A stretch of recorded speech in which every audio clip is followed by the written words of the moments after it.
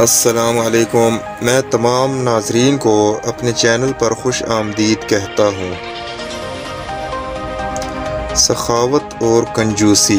सखावत वो खूबी है जो इंसान की कद्र उसके दुश्मन के दिल में भी पैदा कर देती है।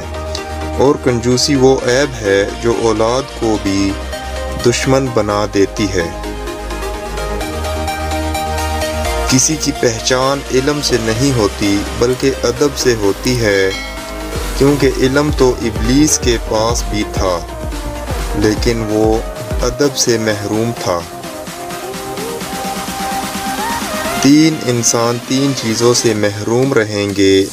नंबर एक, गुस्से वाला सही फैसले से। नंबर दो, झूठा इज़्ज़त से। और नंबर तीन, जल्दबाज कामयाबी से। जिसे अल्लाह ताला अपनी मोहब्बत देता है, इसे फिर किसी और चीज़ की ख्वाहिश नहीं होती। और जिसे वो दुनिया देता है, इसकी ख्वाहिश भूख बन जाती है, जो कभी ख़त्म नहीं होती। आज की बात, जिसके जिस्म से रूह निकल जाए, इसको मुर्दा कहते हैं। लेकिन वो ज़िंदा भी मुर्दा जैसा ही है, जिसके दिल में अल्लाह की मोहब्बत नहीं।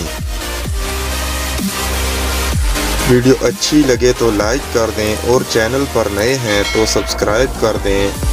नेक्स्ट वीडियो मिलते हैं, तब तक के लिए अल्लाह हाफिज़।